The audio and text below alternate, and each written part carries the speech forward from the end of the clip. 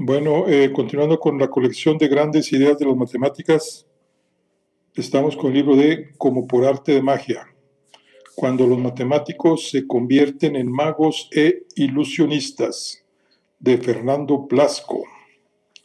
Y vamos a iniciar lo que es el capítulo 3, que se llama Probabilidad en la magia.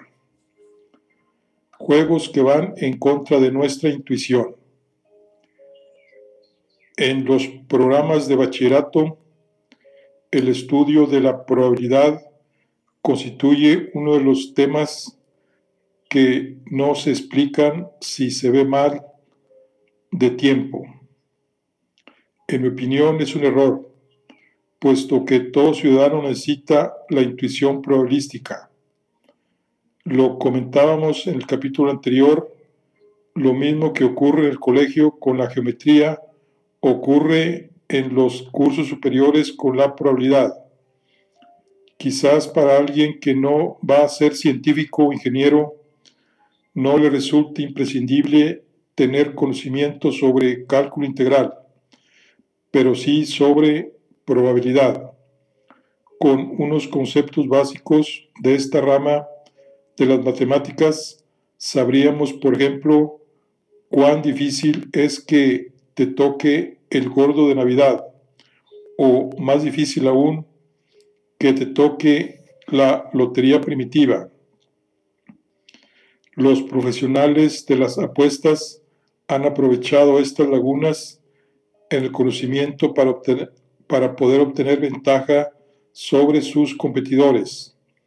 Ellos no descuidan los casos en los que la probabilidad está a su favor aunque sea ligeramente. De hecho, las compañías de seguros hacen su negocio calculando probabilidades y cobrando según sea fácil o difícil que ocurra un determinado desastre. Los políticos basan sus campañas en estadísticas y sondeos, y la estadística está íntimamente ligada con la probabilidad la primera mención a un juego de magia con cartas que aparece en la literatura impresa lo hace en The Subtilates Rerum sobre la simplicidad de las cosas, un libro de Gerolamo Cardano, que era un jugador es, sin embargo, en Liber de Ludo Aleae, libro de juegos de azar, donde Cardano sienta algunos de los axiomas de la teoría de probabilidad.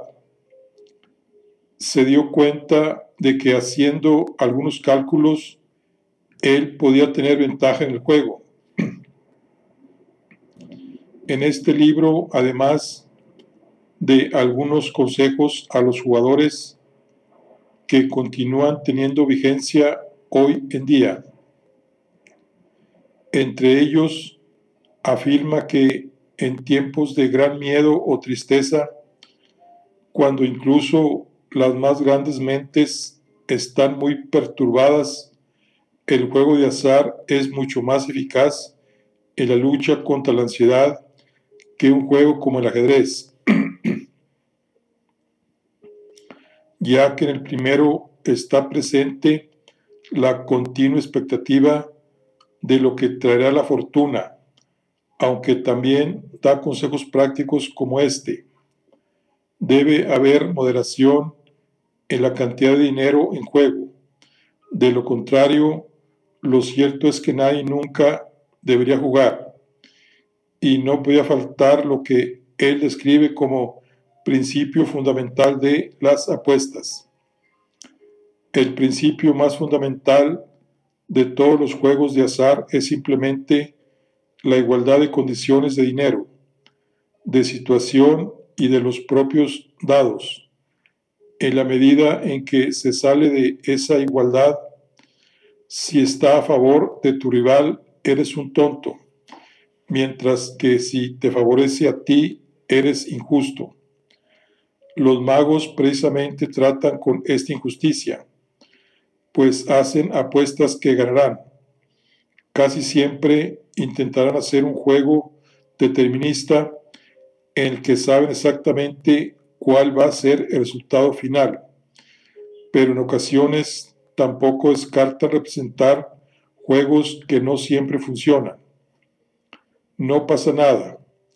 Incluso este tipo de juegos humanizan al mago e indican al público que no hace trampas, puesto que algunas veces falla. De ahí la importancia de incluir una amplia variedad de trucos y técnicas en un mismo espectáculo. Pasemos ya a un ejemplo práctico. Busca dos barajas, una con los dorsos de color azul y otra con los dorsos de color rojo. Toma tres cartas de cada una de ellas y ten preparada una barra de pegamento, pues vas a pegar cara contra cara dos de las cartas rojas, de modo que ambos lados queden visibles los dorsos rojos. Pegarás también cara contra cara dos de las cartas azules y finalmente la carta roja con dorso rojo frente a la carta con dorso azul. Haz todo el montaje con cuidado, cuadrando bien los naipes para que no sea posible distinguir al tacto esas cartas dobles entre sí. Deberían ser indistinguibles, salvo por sus colores. A continuación, mete las tres cartas dobles en una bolsa. Cierra los ojos y saca una de ellas. Déjala sobre una mesa, de modo que cuando abras los ojos solo verás una de sus caras Supongamos que la cara que se ve es roja. Dicho esto, vamos a apostar. ¿De qué color es la cara oculta de la carta?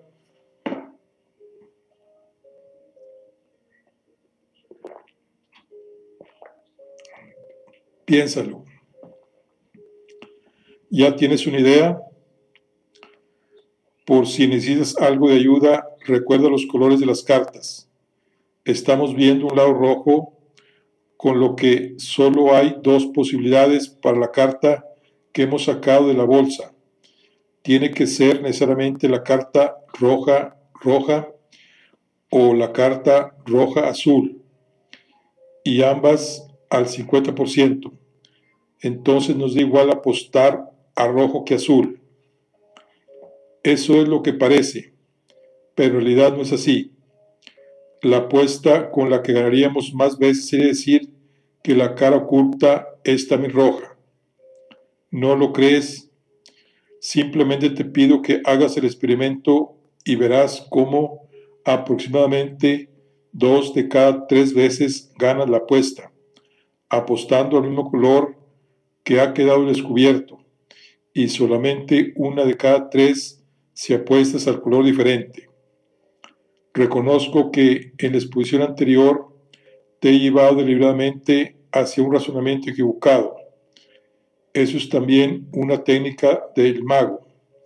Es preciso centrar la atención continuamente en un punto diferente del lugar donde se está haciendo la trampa, tanto en un juego de escena como en uno de cartas en la sobremesa, como ocurre en este experimento que acabamos de proponer.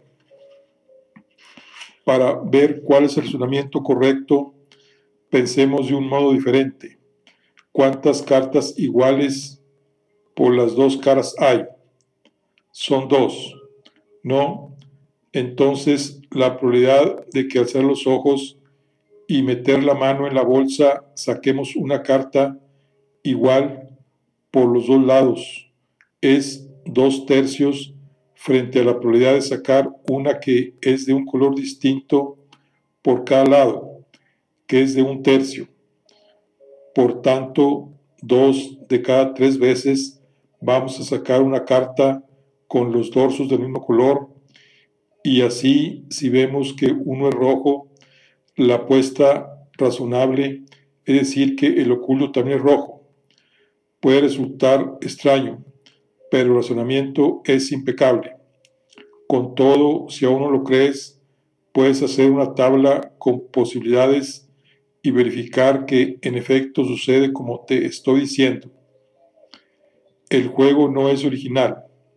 Se conoce como paradoja de las cajas de Bertrand, porque fue el matemático francés Joseph Bertrand quien lo planteó en su libro Calculus des probabilités de 1888.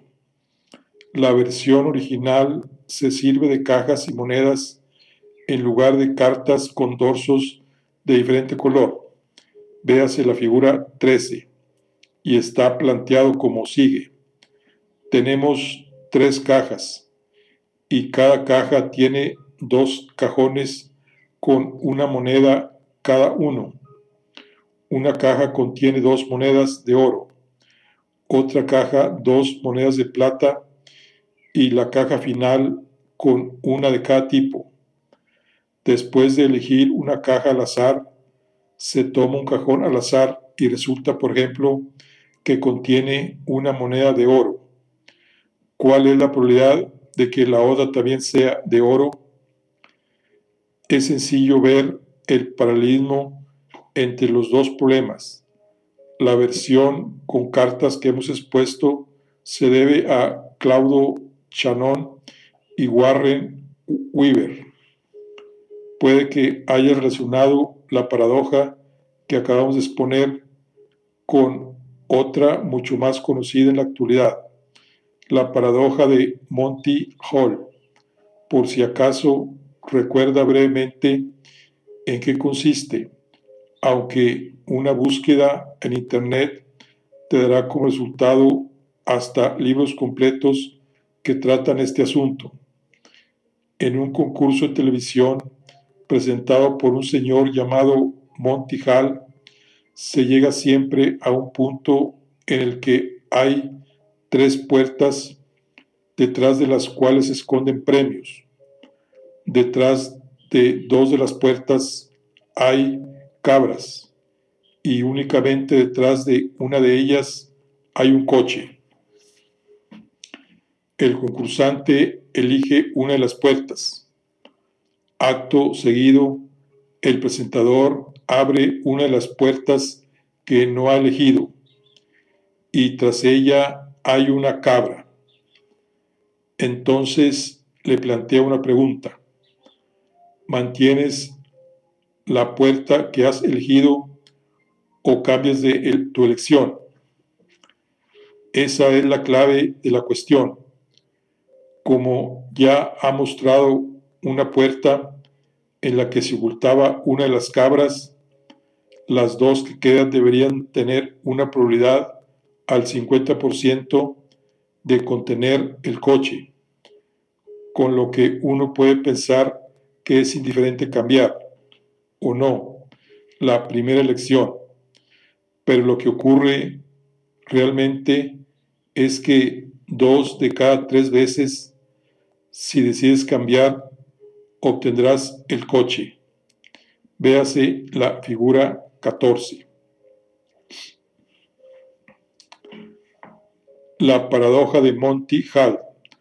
Tras una de estas tres puertas hay un coche el concursante elige una puerta, la 1. A continuación, descarta la 3, tras la cual había una cabra. El coche estará en la puerta 1, su elegida o en la 2. Debe cambiar la opción, pues dos de cada tres veces, si decide cambiar, obtendrá el coche.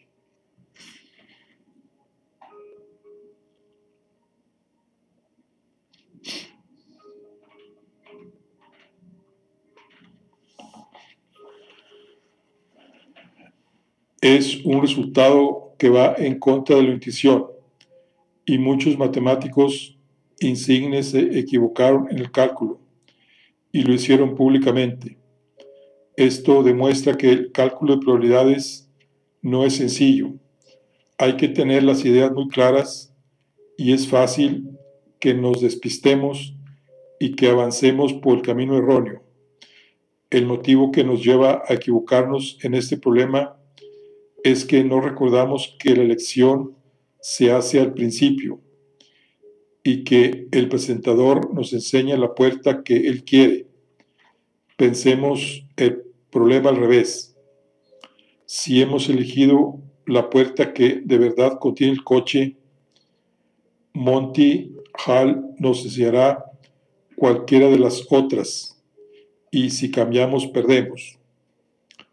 2. Si hemos elegido una de las dos puertas que no contiene el coche, el presentador se verá en la obligación de enseñarnos la otra puerta, que oculta la otra cabra, con lo que si cambiamos nuestra primera elección, conseguiremos el coche.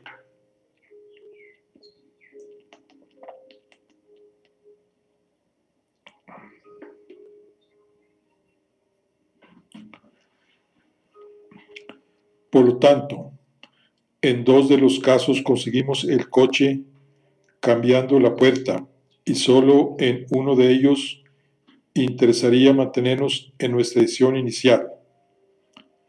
Elige la puerta donde está el coche. Cambia, pierde. No cambia, gana. Elige la puerta donde está la cabra. Cambia, gana, no cambia, pierde. 3. Elige la puerta donde está la cabra. Cambia, gana no cambia, pierde. Entonces, si en una apuesta añadimos además la habilidad del mago para crear confusión, realmente vamos a perder. Y eso sin necesidad de que nos hagan trampas, como los traileros que sigue habiendo por las calles y que pidan a los incautos transeúntes que apuesten. La vista nos engaña, pero la intuición también. Probabilidad y psicología.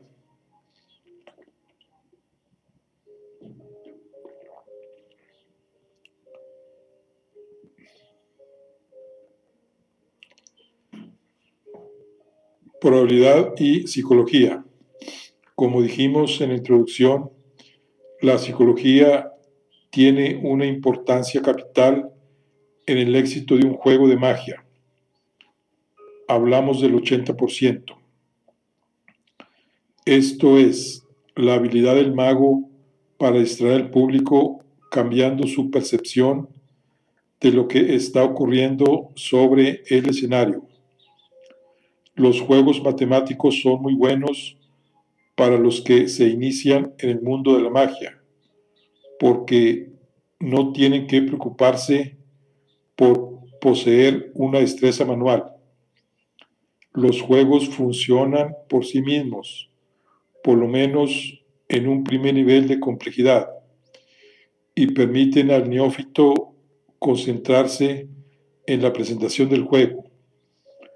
Cómo va a atraer la atención del espectador cómo va a camuflar las matemáticas que subyacen en el juego, cómo va a conseguir jugar con las emociones del público, que en definitiva es lo que se pretende con un espectáculo de magia, el conocimiento de las personas y las pautas comunes de comportamiento también son útiles para hacer juegos de magia matemática.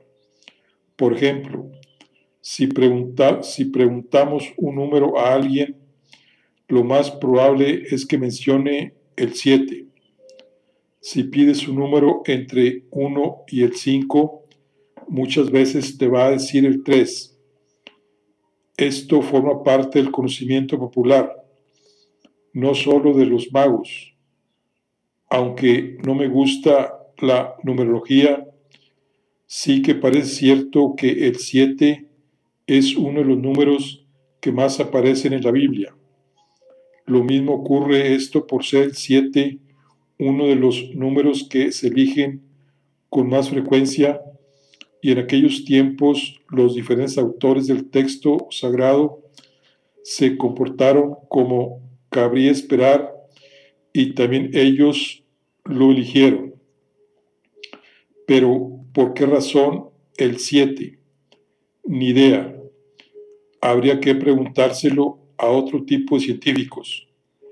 El caso es que la estadística dice que el 7 es el número más elegido y eso los magos lo pueden tener en cuenta.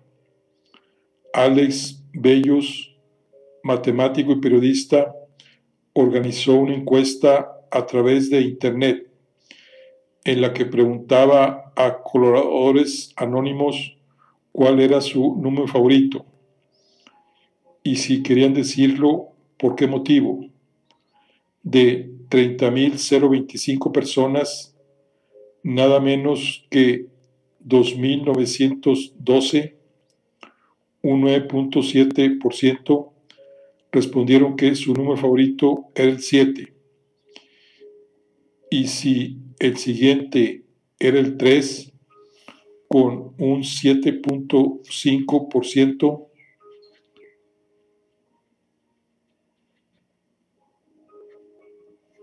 seguido del 8, que es mi número favorito, no sé por qué, quizá por la forma que tiene.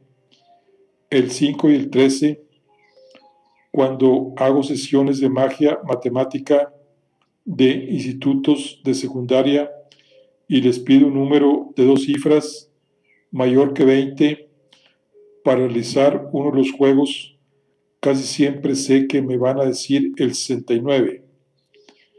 Es la edad y son las hormonas pero la mitad de las veces lo dicen.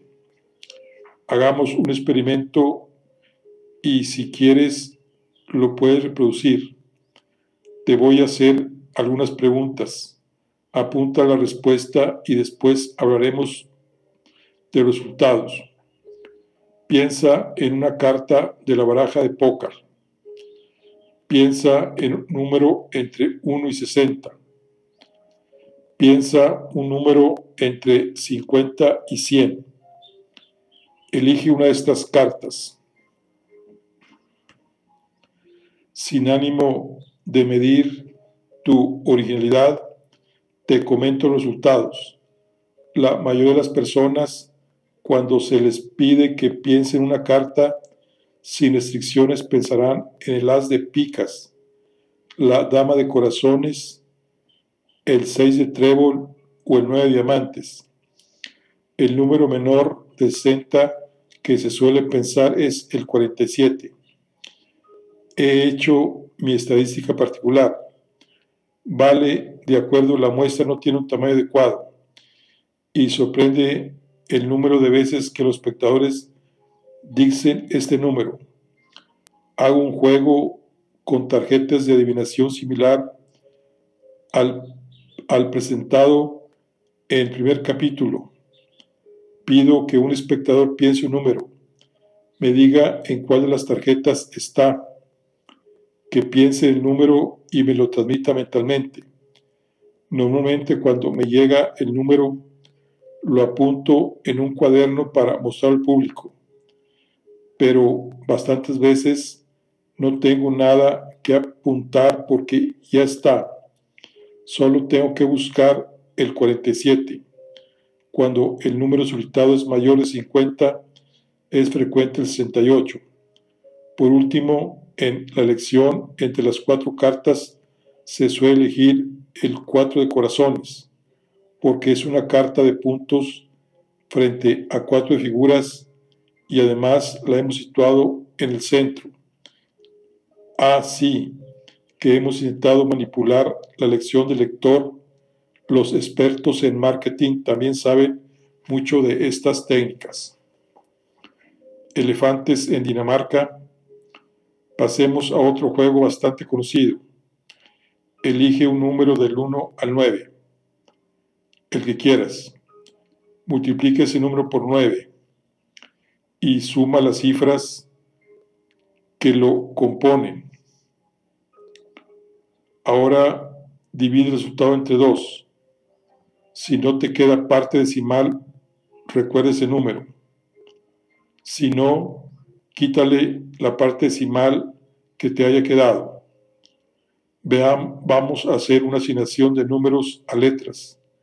El 1 será el A, el 2 equivale a B, el 3 a C, el 4 a D, 5E, 6F, 7G, etc.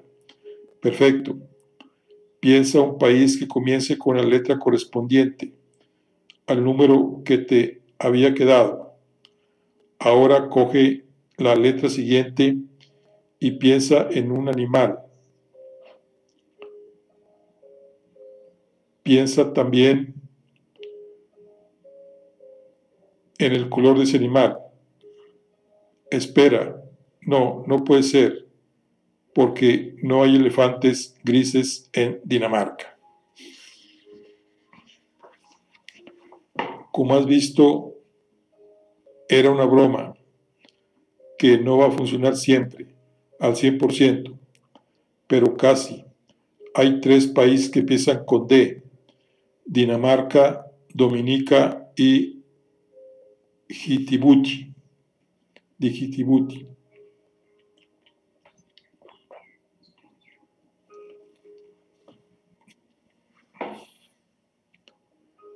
Por D, Dinamarca, Dominica y Djibouti. Entre los animales cuyo nombre empieza por E están además del elefante, el erizo, el escarabajo, el escorpión y la esponja. Quizá haya algunos más, pero el que suele decirse es el elefante, y su color es gris.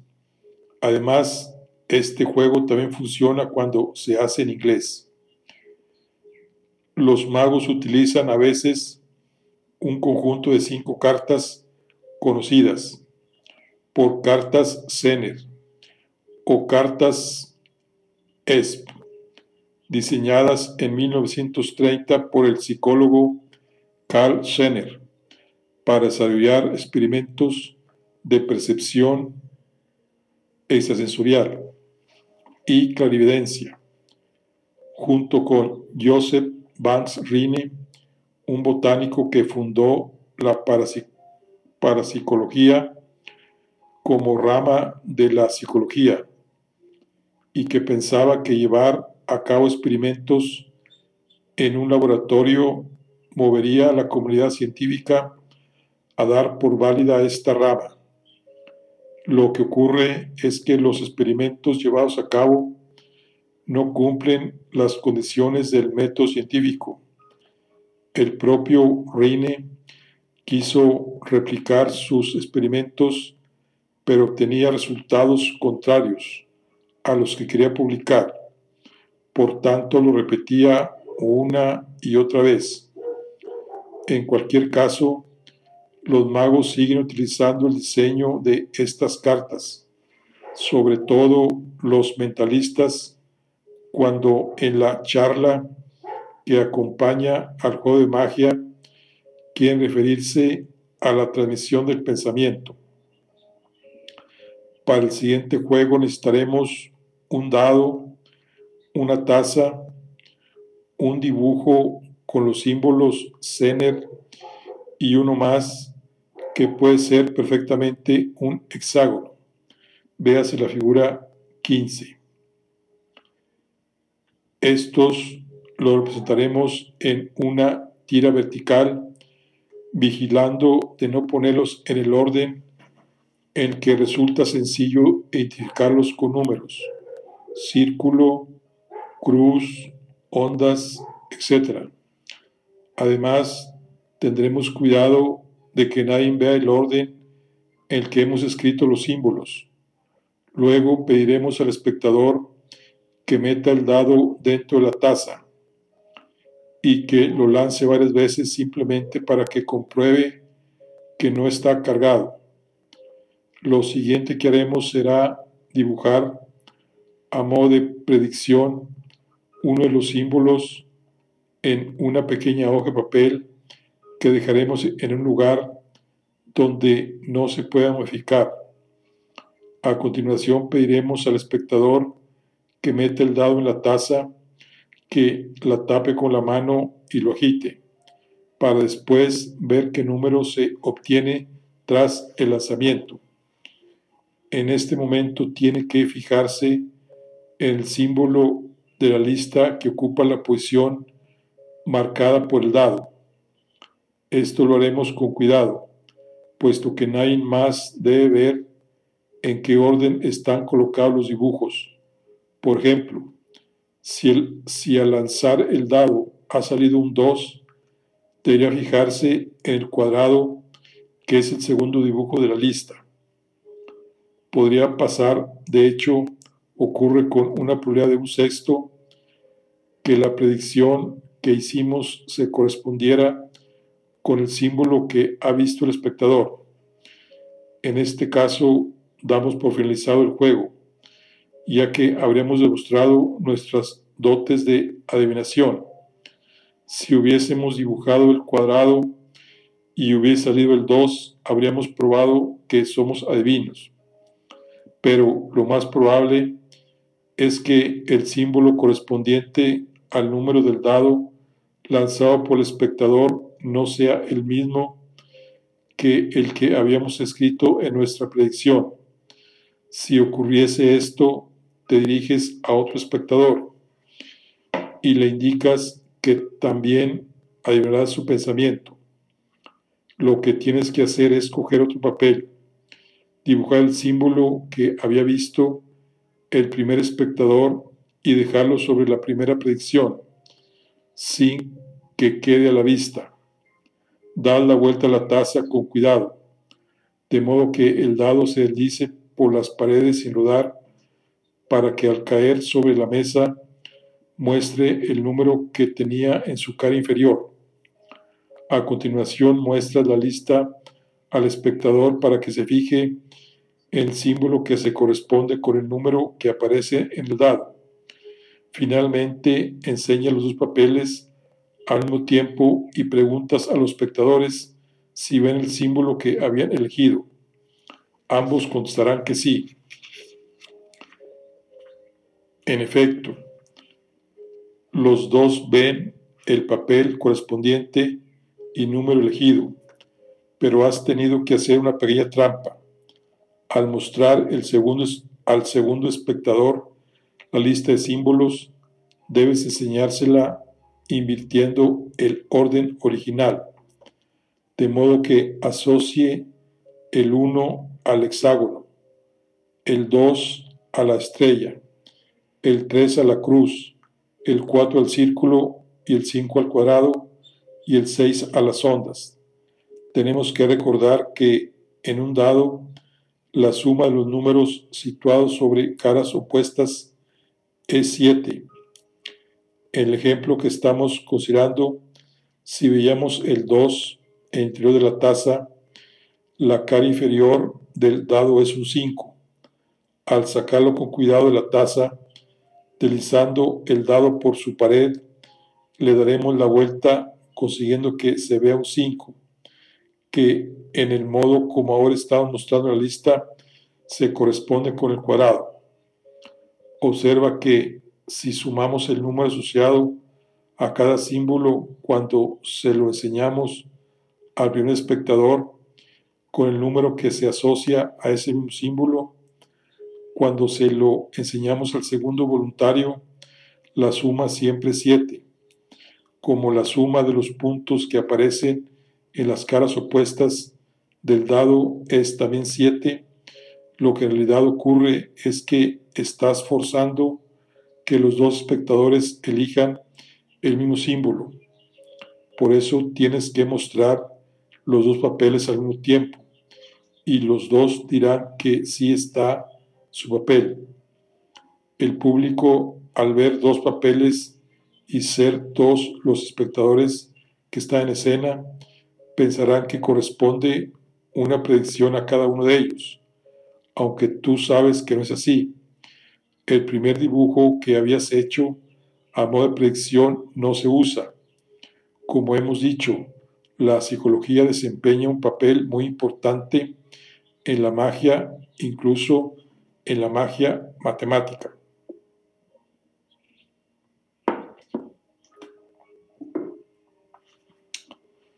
Probabilidad en una baraja de cartas.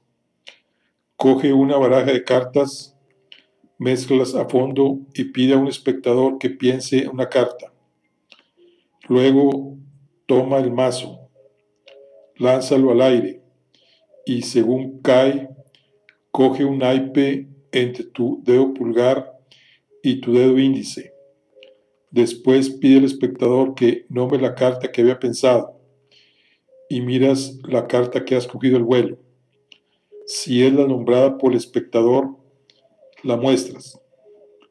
Te habrás ganado el favor del auditorio, pero si no lo es, dices con cierta retranca, era un experimento.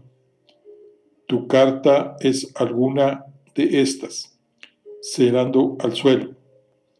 No ocurre muchas veces solo una de cada 52, pero cuando funciona, el efecto es verdaderamente sorprendente. Y si preparas bien la charla, algo de humor no viene mal y te ayudará a empatizar con el auditorio. Es una manera de comenzar. William Simon, en su libro Matemáticas Mágicas, menciona un juego que lleva por nombre Apuesta de la Universidad, porque se lo enseñó una persona que afirmaba que con esa apuesta había ganado suficiente dinero como para pagar la universidad de su hijo. Claro está, tales apuestas ganadoras pueden presentarse como juegos de mentalismo no siempre va a resultar. Incluso es bueno un fallo en alguna ocasión para este tipo de representación, pero tenemos una gran probabilidad de que sí que funcione. La cosa es así de simple. Coge la baraja, mézclala a fondo y córtala, dejando tres paquetes de cartas sobre la mesa boca abajo lo que apostaba esta persona era que en alguno de esos tres montones la carta superior correspondía a un as, a una j o un 4. ¿Quieres probar? Eso sí, cuando lo hagas, recuerda que las frecuencias relativas cuando se realizan un experimento solo se aproximan a la probabilidad si se ha hecho un número elevado de repeticiones. Esto es lo que nos dicen las leyes de los grandes números. En cualquier caso, he repetido el experimento tres veces, que no es un número precisamente alto, y en ninguno de ellos he obtenido ni haces, ni jotas, ni cuatros. Así funciona la probabilidad. Debemos entender que es una medida de la incertidumbre, pero que puede repetirse bastantes veces una secuencia desfavorable para nosotros, aunque también sabemos que a largo plazo obtendremos ventaja. Vamos a hacer números. Para ello, planteámoslo de nuevo como un problema de probabilidad condicionada. Para que ganemos la apuesta con la carta superior del primer montón, tenemos 12 cartas de entre 52 que nos permitirán conseguirlo.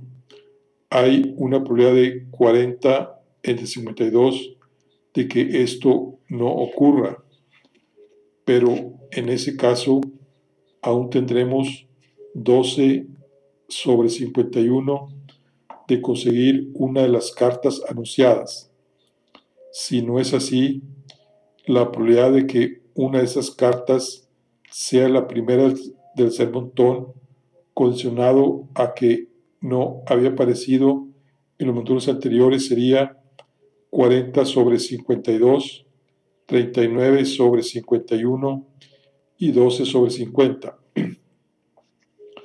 Reuniendo todos esos datos, concluimos que la probabilidad de que al cortar la carta superior de uno de esos montones sea un as, una j o un 4 será de 12 sobre 52 más 40 sobre 52 por 12 sobre 51 más 40 sobre 52 por 39 sobre 51 por 12 sobre 50. El resultado de esta operación es de 47 sobre 85, que es aproximadamente igual a 0.5529. Recordemos ahora lo que afirmaba Cardano. Es una buena apuesta ya que tienes la probabilidad a tu favor, pero solo en una pequeña cantidad, con lo que se puede pensar que es una apuesta más justa. Desde el punto de vista del mago, esta pequeña diferencia hace más plausible que la otra persona se anime a afrontar el reto. Una baraja de cartas se presta estupendamente para introducir conceptos como la probabilidad y a su vez plantea problemas interesantes. Percy Diaconis, que antes que estadístico es mago, ha escrito bastantes artículos científicos sobre este tema. Además, de un estupendo libro titulado Mágica Matemática, pero no fue él el primero en preocuparse por las matemáticas que hay en una mezcla. Edward Hilbert y Claudio Shannon e independientemente Jim Rees fueron quienes plantearon un modelo apropiado para describir la manera como los humanos hacemos mezclas de cartas. Ellos se referían a la que conocemos como mezcla americana, en la que la baraja se divide en dos mazos y se van mezclando alternativamente cartas de uno y otro mazo. Las hipótesis el modelo son que al dividir en dos paquetes uno y otro se forman más o menos con el mismo número de cartas, según una distribución binomial, y después la probabilidad de que una carta del montón derecho vaya a parar en ese momento al paquete de la mezcla se obtiene dividiendo el número de cartas que quedan en el paquete de la derecha por el número de cartas que hay entre los dos paquetes en ese momento. Se trata de suposiciones razonables y el modelo funciona bastante bien. Utilizando este método, David Bayer y Percy Diaconis introdujeron una medida para el desorden de una baraja, trabajando con el modelo matemático para la mezcla americana. Los dos investigadores concluyeron que el mayor desorden en la baraja se alcanza después de mezclarla siete veces. No quiere decir esto que si se sigue mezclando más, disminuye el desorden de la baraja, sino que permanece similar al conseguirlo tras mezclarla en siete ocasiones. El artículo en el que Bayer y Diaconis probaron esto publicado en la revista de Anales de Applitz Probably en 1992. Es un texto de matemáticas y no demasiado fácil de leer, pero su influencia se ha notado en otros campos alejados de esta ciencia. De hecho, antes de salir publicado por los cauces habituales de toda literatura científica ya se había comentado ampliamente e incluso había aparecido reseñado en The New York Times, cosa que es muy frecuente. Ahí se comenta el proceso seguido por Diaconis, quien trabajando con Jim Reeds había obtenido una aproximación de números de veces necesario para hacer una mezcla perfecta. Posteriormente, en colaboración con Davis Aldous, Diaconis bajó la cota superior a solo 12 mezclas y finalmente con Bayer consiguió hacer que todos los números encajaran y determinó que ese número mágico era de 7 mezclas. A partir de ahí, los casinos han cambiado sus costumbres. Antes, una baraja se mezclaba con mucho tres veces y cinco parecía ya una exageración, pero había gente que hacía dinero con ello. Ahora se utilizan mezcladores automáticos. Es curioso que en 2013 Diaconis junto a Jackson Fullman y Susan Holmes volviera a tocar ese tema al publicar en la misma revista un análisis del comportamiento de los mezcladores de cartas, Analysis of Casino Self-Surfing Machines, porque muchas veces podía parecer que las mezclas estaban hechas por magos y un casino no se la puede jugar de esa manera.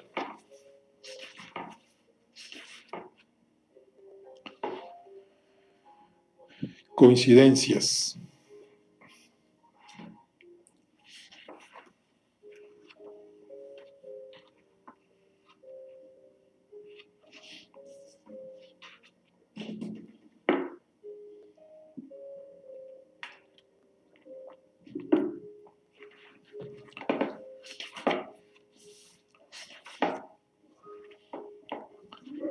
En todo este capítulo estamos examinando ejemplos que nos muestran que no estamos acostumbrados a tratar correctamente con la probabilidad.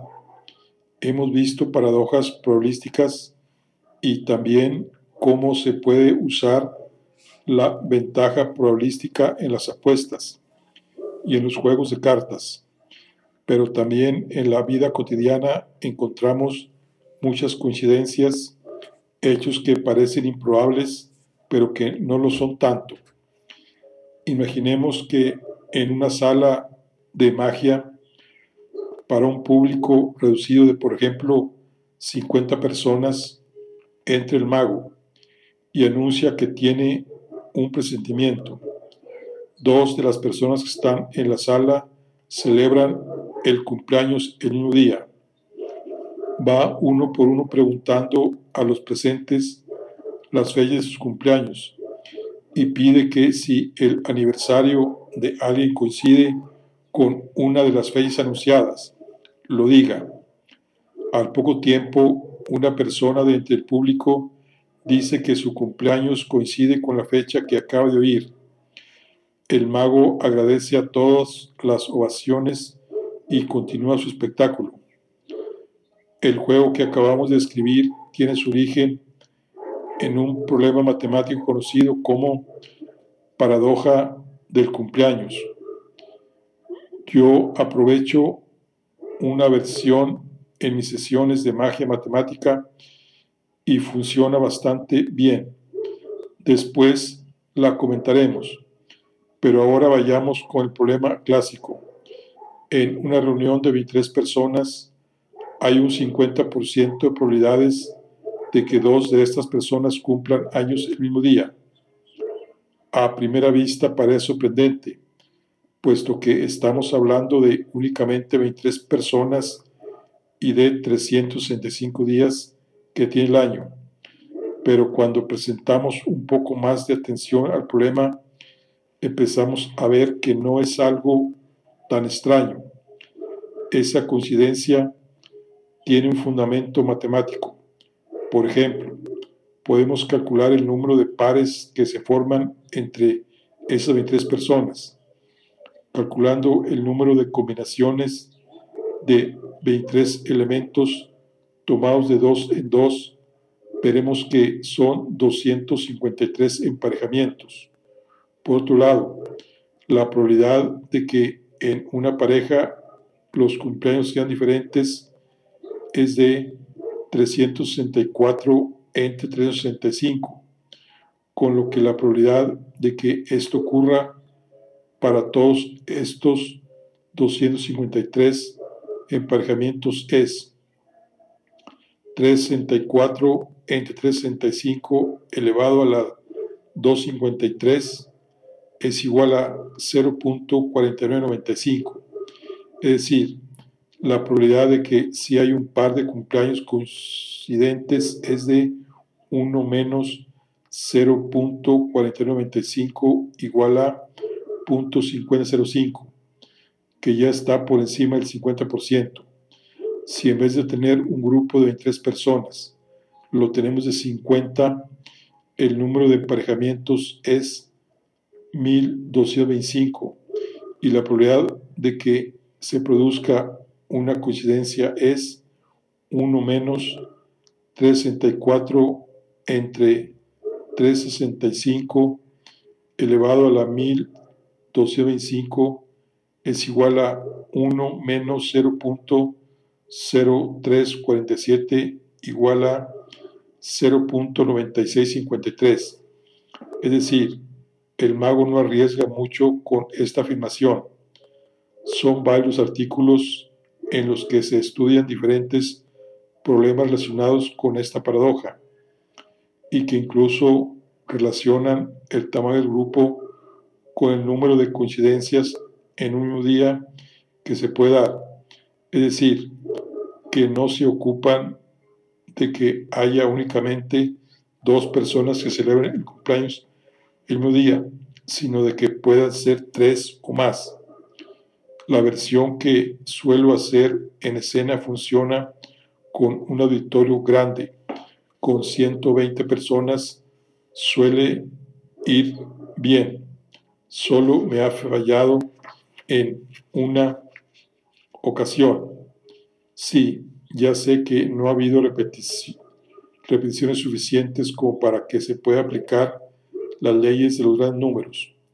Suelo elegir a ocho personas y decir que una de ellas cumple años el mismo día que algún otro espectador de los que están entre el público. Y como decía, funciona bastante bien. Habría que echar las cuentas, pero resultan más complicadas que las anteriores. Ahora cambiemos de situación. Piensa que estás en un espectáculo de mentalismo y el mago te elige como ayudante te mira atentamente, hace una pausa y comienza a escribir tu personalidad con estas palabras.